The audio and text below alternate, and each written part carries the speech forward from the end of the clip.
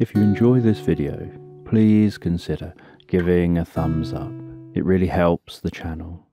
And if you have any ideas for future videos, share them in the comments section below. This original bedtime story is made possible thanks to Slumberland patrons. If you would like to support this channel, you can find Patreon details in the description and on my channel homepage. So just take a moment to allow your eyes to close and allow yourself to begin to relax. And as you begin to relax, I'm just going to tell this sleep story in the background. And I don't know whether you'll drift asleep faster to the sound of my voice or to the spaces between my words. And as you begin to comfortably drift asleep, I'm just going to tell the story of a boy called Gareth. And Gareth awakens to find himself in a strange house. And as Gareth awakens in this house, he looks around the room. He stands up. And while he's looking round, this house is very dark. All he can see in every direction is black. And when he takes a step on the floor, the strangest thing happens. That the floor begins to move and rise, and he starts to walk to try and get out of this house. And as he walks, so the floor gets steeper and steeper until it's so steep that he starts to slide back down again. And as he slides, so that floor lowers down, so that he stops around the centre of the floor where he started. And so he tries to walk the other way. But as he walks, so the floor seems to get steeper and steeper. Until eventually the floor is so steep he slides back down again. And it doesn't matter how many times he tries to walk left or tries to walk right. As he walks, so the floor just gets steeper and steeper, and he falls back down to the middle where he started.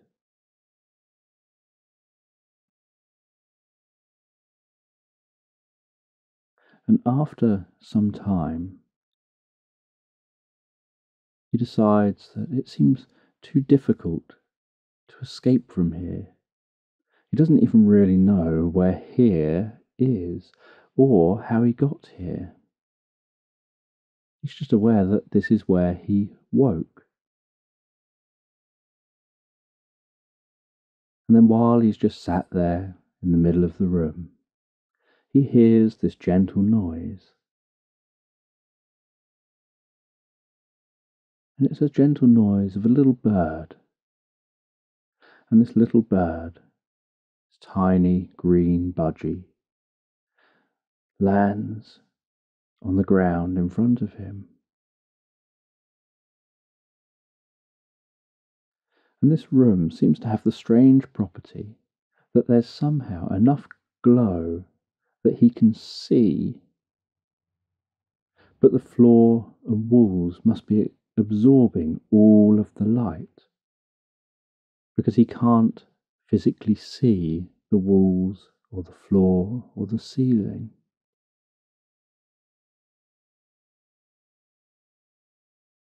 And he puts out a hand and a finger, and that budgie jumps up, flutters up a little bit, and lands on his finger and says, Hi, I'm Arthur.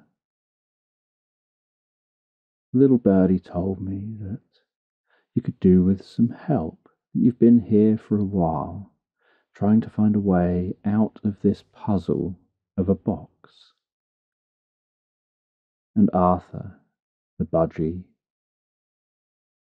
tells Gareth that there is a way out in the same way that he found a way in. And Gareth explains that he's tried walking left, he's tried walking right, and neither route seems to find his way to a wall to be able to follow the walls to see if there's any doors or windows. And that looking around, all he can see is black around the walls. And so he can't see any way that there could be to come in or out. And Arthur says, Well, was I here a moment ago? And Gareth says, Well, I don't think so. I don't recall seeing you or hearing you. And Arthur says, That's because I know my way in. And we can go out the way I came in. And Gareth explains, But you're a bird. You can fly to however you came in. If I try and walk, the floor just tilts and tilts and tilts some more, and I just slide back on the floor to where I came from. And Arthur says, Just follow me. And Gareth stands up and starts to follow Arthur. As Arthur hops along the ground, but Arthur isn't heading left or right. Arthur heads in a different direction and the floor doesn't seem to tilt that way. As Arthur hops his way over and then hops up and seems to land in midair. And Gareth realizes that Arthur is on some kind of a ledge. It's just that the walls are made with a material that's so dark that you can't see anything, that you can't make out any details or shapes. And Arthur explains that the tilting floor only pivots around a central point, left and right, up and down. And so, if you can walk in a straight line not trying to head to the wall to the left or to the wall to the right. You can find your way to a wall. And Arthur says, and here is a window. But Gareth thinks, well, if there's a window there, why does it just look like a black space, a black wall, a black nothingness? And Arthur says, that's for you to discover when we're out of here. And so Gareth follows Arthur, climbs up onto that ledge. Arthur flies out of a window that Gareth can't see. And Gareth climbs out of that window and drops down onto the ground outside this window. And realizes that this whole time he was in a brown building with the darkest black on the inside. But this brown building seems to be inside a larger structure. And Arthur explains that this large structure has a maze, and Arthur explains that this building is in this large structure. And Gareth looks around and starts to walk around, but in every direction, just like inside the house. All he could see was black.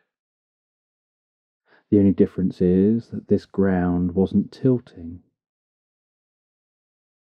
and instead it seemed to have the smoothest black onyx floor. And Gareth began walking around this onyx floor, walking around the outside of that brown house. But in every direction he looked, all he could see was black And so he asked Arthur, If all I can see is black in every direction, how can I ever find a way out? It just looks like it goes on for ever and ever, almost infinitely black for an infinite distance. And Arthur says, Well, I came in here, didn't I? I'm here. So there is a way out. And then Arthur flies with Gareth towards a way out. And Gareth is following along, saying, I can't see any way out.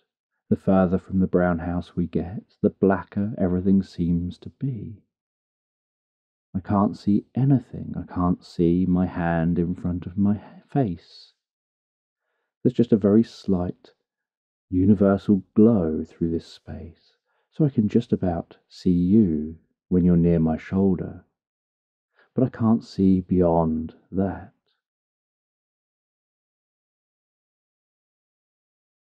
And Arthur lands on Gareth's shoulder and says, just carry on heading forward. I know my way.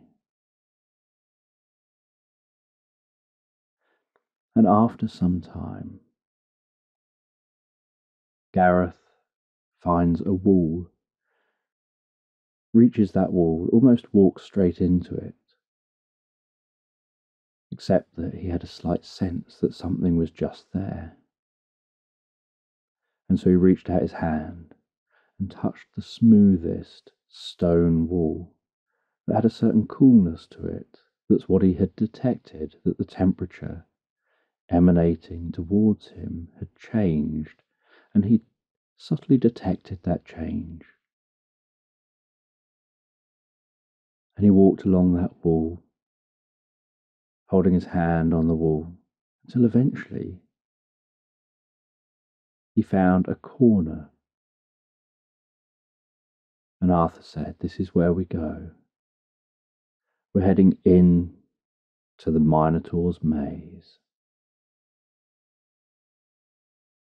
And Gareth asked what the Minotaur was.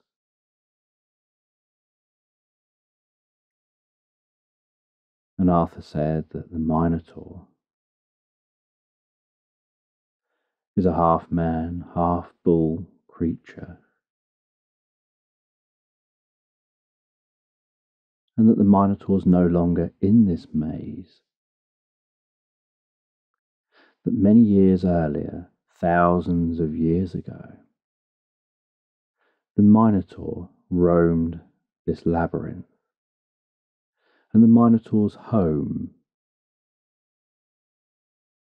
was in that house and the Minotaur would scour this cave system, scour the maze here, would hunt down those who had been sent here, but thousands of years ago. A young lady called Ariadne gave her partner Theseus a spindle of golden thread. And instead of Theseus surviving here and finding his escape, he intentionally came in here, tying that golden thread at the entrance. And he found his way all the way round to the centre, tying that golden thread on the full journey through the maze. And then tying off that golden thread here as he entered the centre of the maze.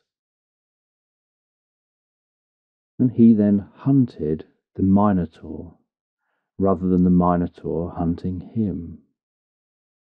And then he followed his golden thread to escape the maze where others would be trapped within the maze, unable to find a way out in the darkness, while hunted by the Minotaur.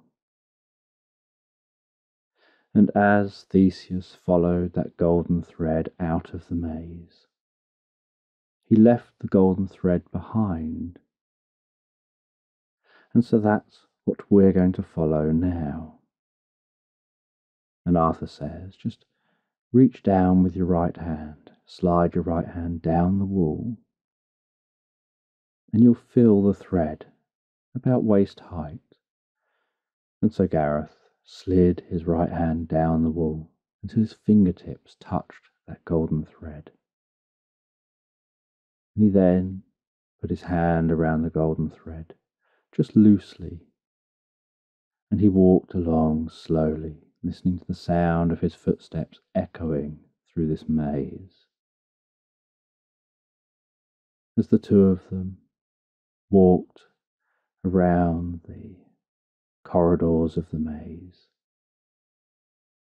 following that golden thread, still walking in the dark, trusting the thread, trusting that that thread is weaved through the maze to the exit. Just calmly, relaxed, breathing their way through the maze, giving all their focus to that thread. And after some time, Gareth said he just needs to sit down a moment and have a rest, because the journey through this giant maze is so long. And a part of his mind was doubting whether he was just going around in circles or really finding his way out. And Arthur could sense this and said, You've got the strength to carry on with this you are on the right track. This golden thread does weave to the exit. I flew in here to rescue you, and I'm now joining you on your journey out. All you have to do is keep your hand on the thread and just keep following that thread and the path may have twists and turns and challenges, but it is the path to where you want to go. And you'll be successful on getting there.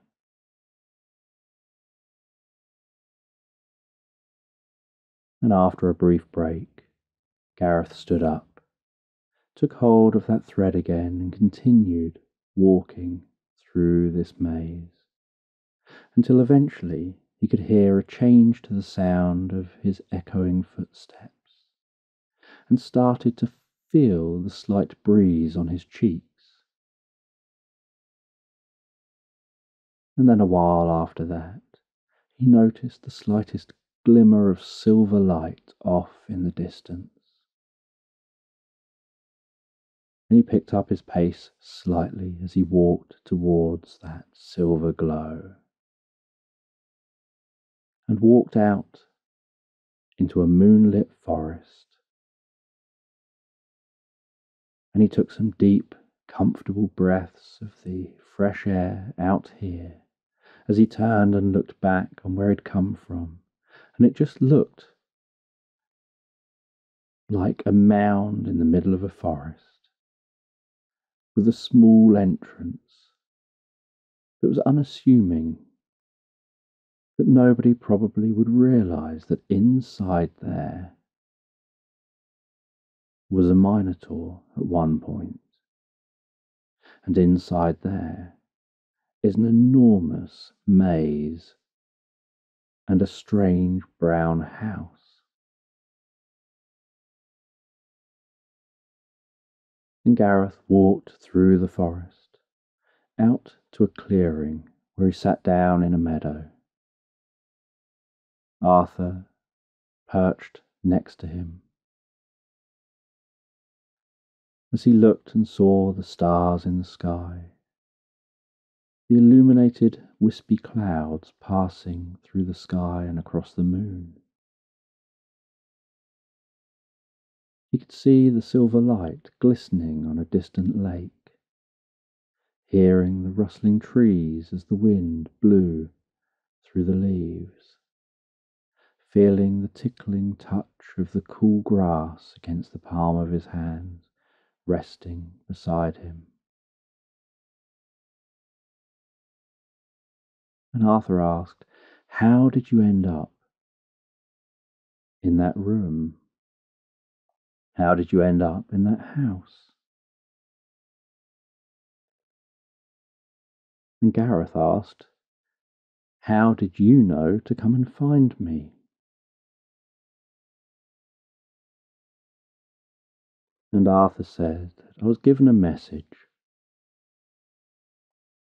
I was told that somebody needed help, that they were trapped in the Minotaur's maze. And I'm the only one over recent years who's been in that maze and out again.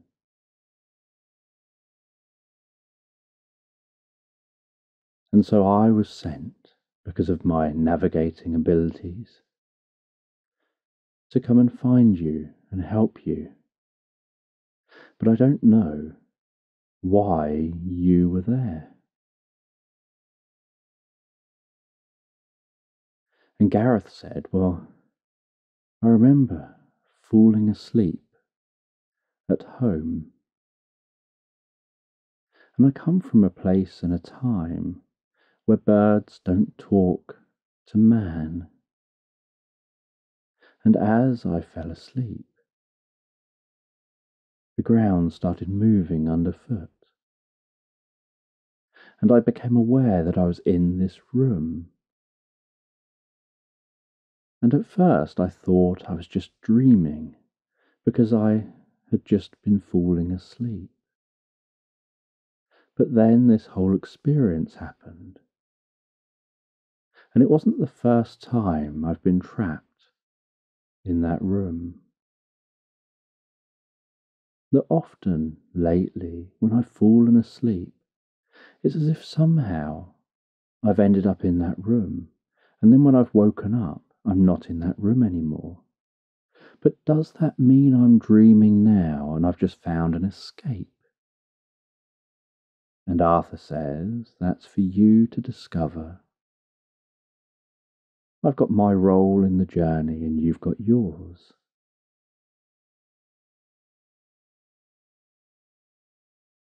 And Gareth explains that they've never dreamt this dream to this extent where they've got out of the room, let alone out of whatever's outside the room, and definitely not out to a meadow so beautiful as this.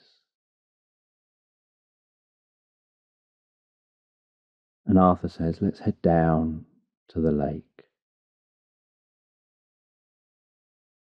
And they head down towards that lake. And down near the lake, a mist with sparkling light begins to form over the surface of the water, almost as if the glistening silver moonlight is turning to millions of sparkling floating diamonds. And then an arm in the most beautiful white dress rises out of the water, holding a sword. And Arthur flies towards that sword. And as Arthur's flying, so that hand holding that sword almost effortlessly throws the sword into the air. That sword is spinning around. And Arthur dives down towards that spinning sword. And then in a flash, Arthur falls from the sky while turning into a man and landing and rolling, and then landing on his feet. And Arthur explains that he's King Arthur of this land, and this is his sword. That the lady of the lake here looks after it for him, and that it's only him and those who are worthy, who can hold this sword or remove it from stones. And that his quest is to find the Holy Grail. But the Holy Grail isn't what people think it is. That all myths and legends are connected. And that what you think is a dream is actually you entering a different dimension psychologically and spiritually. And that as you enter that different dimension, you've been traveling back from it every night. But there was a purpose why you were appearing there. And Arthur says that they don't know what that purpose was but it was the Lady of the Lake who had called upon them to come and help. That you've been struggling long enough, and now was the time for them to support you in your journey, in your quest. And then somebody walked out of the trees with a glowing orb in their hand and Arthur greeted them as being Merlin. And Merlin said, Is this the one who needs our help? And Arthur says, Yes, this is Gareth. And he was trapped in the Minotaur's maze. And I've helped him to escape the Minotaur's maze. But we don't know his purpose yet, but he keeps being sent here in his sleep, in his dreams. And so his purpose must be to be here for some reason. So we need to build him somewhere, to live here, a home in this land somewhere that when he sleeps and dreams, he can awaken here rather than the maze. And so Merlin waves a hand, and a flash of light appears around Merlin, spreads out from Merlin, starts to glow and flicker purple and blue. And as it clears near the lake is the most beautiful cabin. And Merlin says this cabin is created from your thoughts and dreams of where you would like to live. It has the most comfortable, relaxing bed and a meditation chair where you can sit down in that chair, drift inside and discover your purpose, your way forward, and what it is you need to know about being here. And that you'll become one of the knights of the round table you'll help on the quest to find the Grail. And the Holy Grail isn't just a cup, but that's for you to discover. And Gareth heads into this cabin, settles down in the chair, feels instantly at home and so calm and so comfortable and while settling down in that chair and closing his eyes for a moment to test out this meditation chair, he finds it so easy to connect with himself in bed in his normal reality and realizes that now this is where he will explore things not in the Minotaur's maze. And that he knows his way in and out of the Minotaur's maze now, if he ever does go back there. But he doesn't see that he's likely to have a need to go back to learn from there. Then he asks Arthur what the plan is, what he should do when he comes here. And Arthur says, just explore.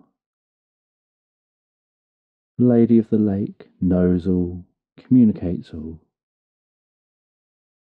And the Lady of the Lake isn't just in this lake. She's in and a part of every body of water. She's in the water, in the plants. She's in the water, in the sky. Her awareness is within every single drop of water. And she knows you, and she knows us.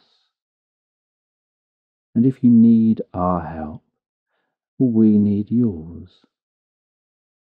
She'll connect us, and we'll be together. And she can transport you from one body of water to another, almost teleporting you there rapidly. And everything you need to make your discoveries is here in this cabin.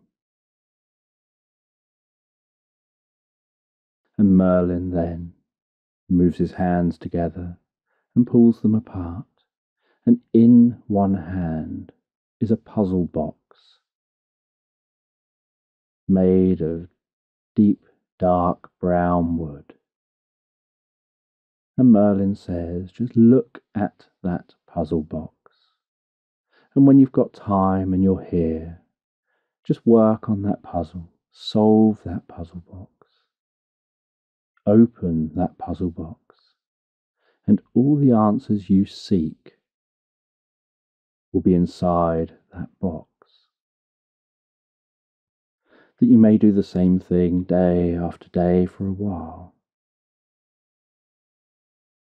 But what you're doing the same every day, eventually you'll realize what that is, and you'll stop doing it, and the right answer will be like an aha moment where you'll suddenly just know what to do and you'll do something different. And that recurrence will stop. And Gareth thanks Arthur and Merlin, and they leave. And Gareth heads to bed, and in bed drifts and floats, so peacefully, so comfortably asleep and then finds that they're in bed in their normal world, drifting and floating deeper and deeper asleep, approaching the knowledge that when they wake in the morning, they'll feel so refreshed, so revitalized, so full of energy, ready to make a change. Because it'll be a new day for a change. And that knowledge, that wisdom, that connection with this new location, where they know when they want to go there, that is where they go in their mind, instinctively and automatically when the time is right. As they drift and float so deeply, so profoundly asleep.